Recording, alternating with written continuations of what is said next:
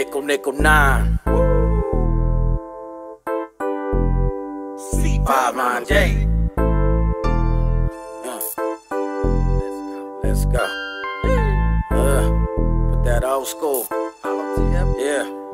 Hey, yo, what's good with everybody, man? I hope everybody's having a productive day, feeling blessed, and like I always say, it's one life, one chance. When we only got one chance to do this right. Let's get it done. With that being said, before I get into the video, I think one subscriber said that that intro doesn't make sense on the one life, one chance part.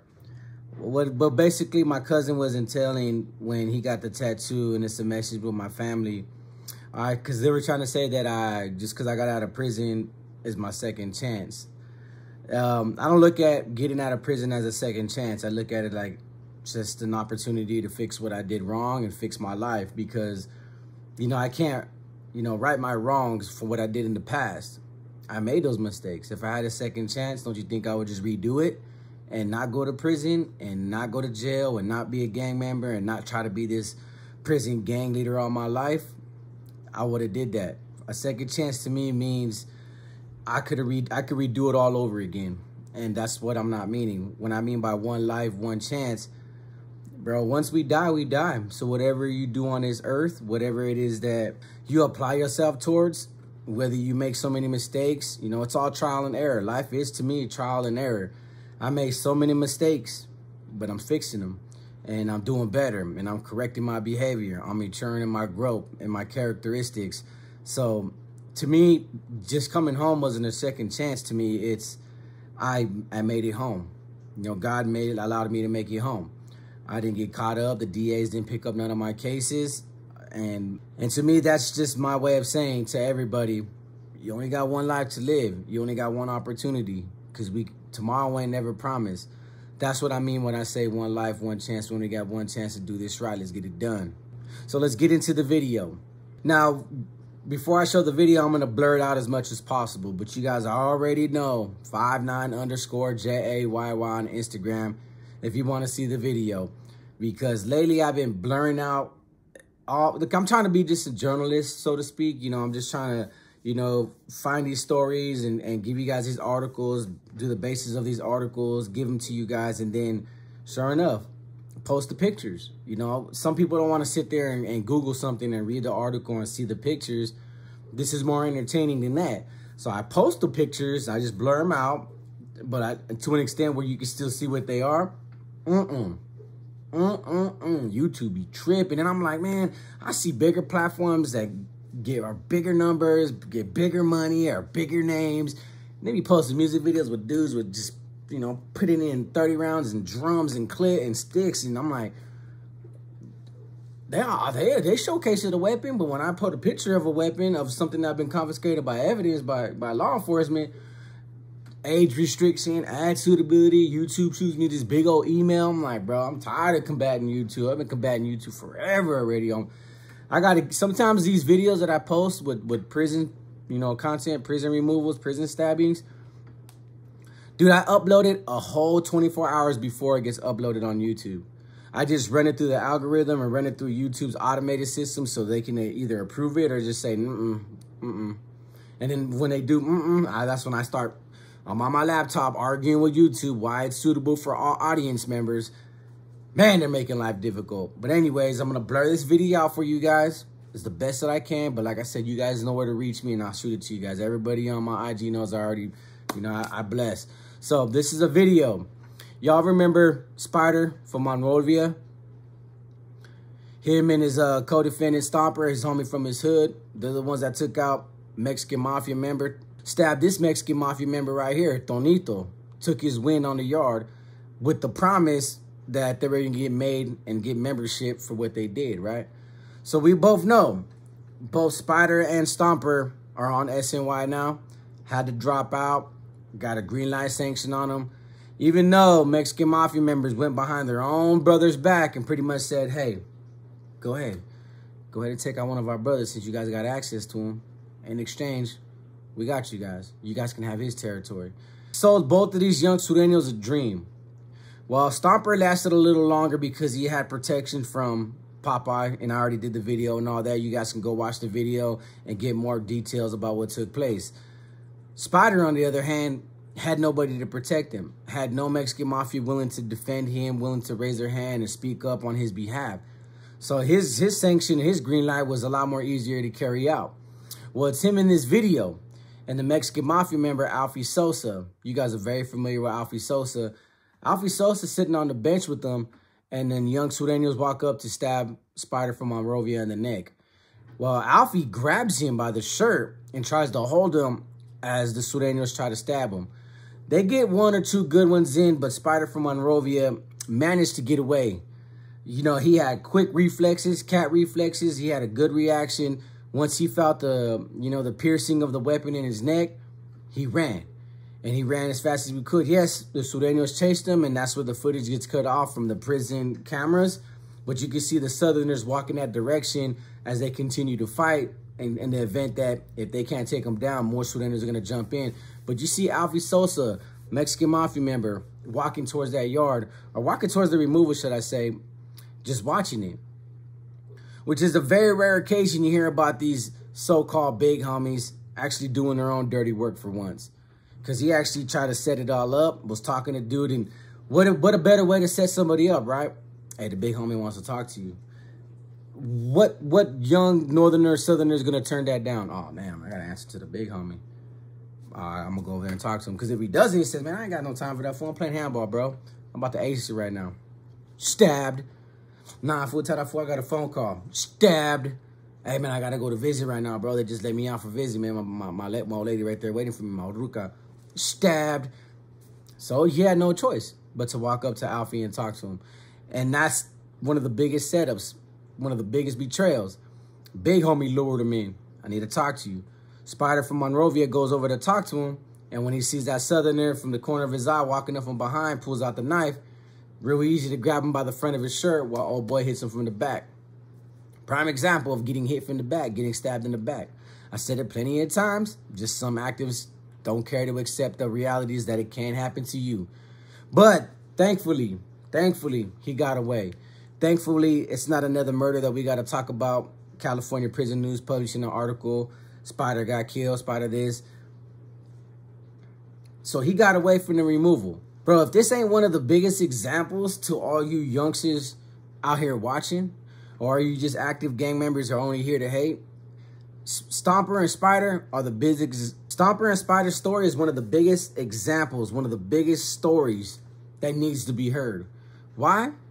Because that'll just teach you how they'll utilize you. Everybody's familiar with the story. Everybody on YouTube that watches my channel and has watches other prison channels that knows about prison politics, that's pretty informed with prison, even from their own homies in jail.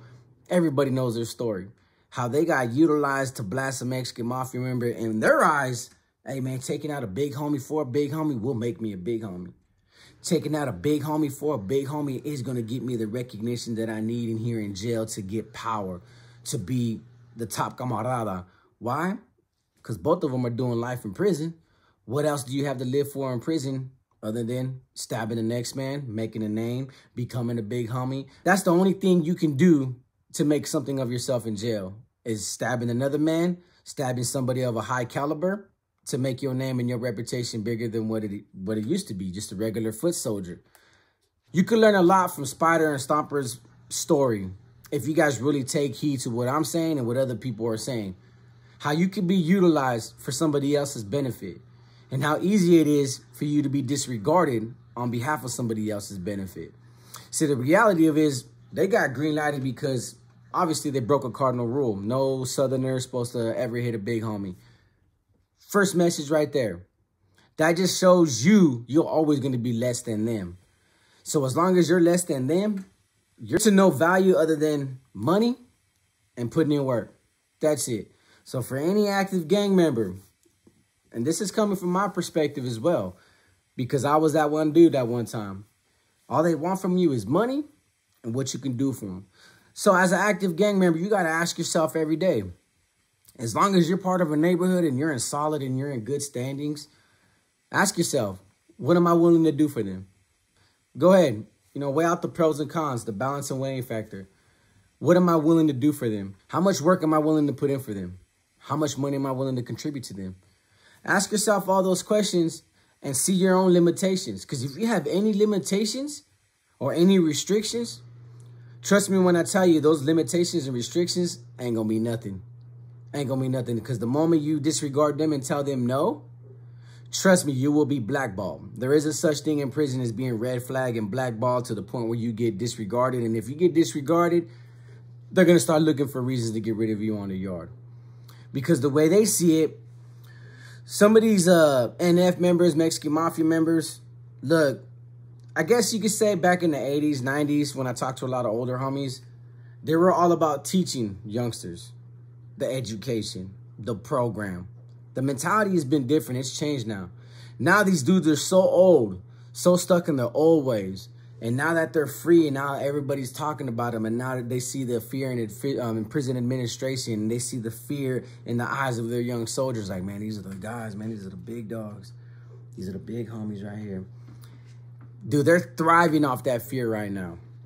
They're thriving off the fear that now that they got access to phones, now they got access to more videos, now they're in contact with more people on the streets. There's a lot more fear in them streets now because anybody can get killed with one phone call. Back then, it took letters. It took legal documents. It took years for a kite to leave Pelican Bay to hit the main line and from the main line hit the streets. So you had years to maneuver. You had years to move around without getting caught, without getting green lighted, without getting blasted, or you had an opportunity to get out the way. It took years. Now it just takes one simple phone call. 10 minutes. See, they're thriving off that fear because they know damn well as much as you active gang members want to portray yourselves as being active and solid, and that's more meaningful than just being a regular man, a regular dude, and just being loyal to yourself and loyal to the people that actually matter to you, they're thriving off that. They're getting rich off that. But if you notice, right, I ask you guys those same questions, which I know some of y'all won't answer. I'm asking you guys those questions. What are your limitations? What are your restrictions? How far are you willing to go? What are you willing to do? And if you're capable of answering all those questions and all of them have the same answer to a certain degree of what you can do for them, I promise you, as if you thought it out, none of that thought process was even there to say, hold on real quick. What am I willing to do for me? Or what am I willing to do for me that way I don't get caught up in their mess, in their business, caught up in their lives, in their web of lives, so to speak. Because like I said, you had Mexican Mafia members tell these two youngsters to go blast somebody, but didn't tell their brothers that they sanctioned these two to go blast somebody. So when their brothers start asking these Mexican Mafia members, hey, bro, do you guys sanction that? Nah, bro, we didn't do that. I thought it was that big homie. So these big homies are pointing fingers at these big homies. They question those big homies. Those big homies deny. Now everybody's in a web of lies where they're finally saying, you know what? All right, to make matters even better, we'll just go ahead and blast these two fools and get rid of them. Because in reality, the cardinal rule is they, they weren't supposed to touch another brother. And that's what I'm saying. When you get caught up in this gang culture and this gang lifestyle, you're not doing nothing for yourself. None of this lifestyle is going to benefit you. It's always going to be for the benefit of a street gang, the benefit of a neighborhood, the benefit of a big homie, and the benefit of a prison organization. None of this, you can't be selfish in this lifestyle. Everything has to be selfless acts. You got to do it for other people. So when you're doing 25 to life or you catch an additional 10 years, you catch an additional strike or you F off your release date and you can't go home and you can't get family visits no more and you can't do nothing for yourself to make life a little bit more meaningful in a prison system and in a jail cell, just remember, all that time that you're doing for them, all them struggles that you got to deal with, you're the one that has to endure it. So when a big homie tells you to catch a case, if you get sentenced to 20 years, does he get sentenced to 20 years? No. He's already doing life. He already messed up his freedom. Don't think for one minute that man's worried about you and your freedom. Like, damn, the little homie ain't gonna see the see the light of day for 20 years. Don't think, don't think for one minute that that big homie sitting there like, damn, the homie's doing 20 years. My little youngster's doing 20 years. He just forfeited his freedom for me. I owe him something. Nope, not at all. Doesn't cross his mind. Because at the end of the day, we're the ones that are gonna do the jail time at the end of the day, as you've been seeing in the last past two, three years since these big homies been down, a lot of news media has been hidden and a lot of YouTubers been doing a lot of coverage on prison aspects of, of what's going on in prison. None of these big homies are stabbing their own big homies. None of these big homies are actually taking credit for what they did to the next man. It's so bad that they'll tell a Southerner to do this and do that and not even tell a Southerner why they're doing this and doing that to that man. They keep it all under wraps and they keep their own politics under wraps so that way Southerners can sit there and speculate and gossip about why this happened and why this happened and why this happened. And they don't keep their own people informed. Just goes to show you, you're lesser than. You'll never be on their level. So I just want you guys to remember that for all those that are watching. When you decide to continue to be in this lifestyle, raise your hand. You're raising your hand for the next man. You're standing on business for the next man. You know, for once in your life, it's not wrong to be selfish. It's not wrong to think about yourself. It's not wrong to think about you and what's best for you. Make sure you think about that the next time you decide to get involved in some of these prison politics and these gang politics, street politics. Just remember, nothing in this lifestyle is ever going to benefit you in the long run. Unless you're doing life in jail and you inspire to be one of them.